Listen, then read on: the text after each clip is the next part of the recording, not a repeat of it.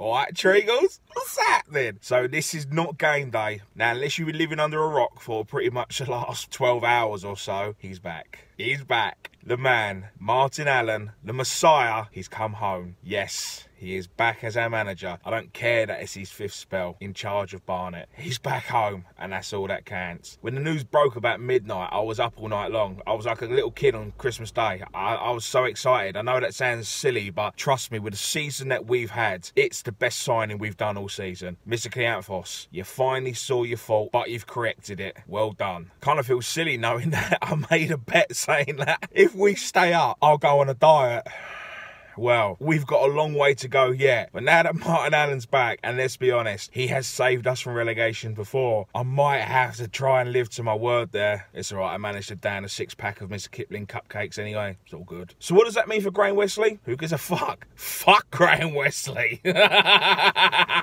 was a dreadful appointment. I can't believe we even made it, to be honest with you. That man should not be allowed to work in football ever again. He should have his license taken away from him after what he done to Farnborough. How he personally killed a football club just to boost his own reputation and ego. Disgusting. He should not be allowed to work in football ever again. They should take his license away from him. And I'm being deadly serious about that. But the problem is, he talks a good game. He can bullshit people into believing his philosophy. And Mark McGhee has been shown the door as well. So it's see you later, Graham Westley, and see you later, Mark McGhee. And let's be honest, he was a dinosaur. You can't have someone like him working for your club who offers to fight football fans. And he showed how much of a dinosaur he was when one being our manager and playing a 4-3-3 in League Two. But not only that, he showed how much of a dinosaur and out of date he is with his football knowledge when he just mugged himself off on Sky Sports News when he's trying to commentate on games. The guy didn't have a clue. Full stop. He just did not know what he was talking about. Even if we do go down, I would be happy to stick with Martin Allen because you know that he's going to rebuild and start from scratch. It might be too little too late. It should have been done three months ago. It wasn't. It's done there. so let's just focus and just get behind the team. Martin Allen's first game in charge in his fifth spell away to Luton live on Sky. But if anyone can do something with his team, pull a rabbit out of the hat, he knows where he belongs, he knows where he's wanted, and he knows where he's loved. I just hope that he's learnt from his lesson there and he stays put. Eight games to go. So I guess your plan failed, didn't it, Agent Westley? And I'm even going to go there and say Agent McGhee as well. Where you two end up, I couldn't give a shit. Agent Westley will probably end up up the road in the swamp with the Chavrats. And if that's the case, then I can't wait for the derby. Do you?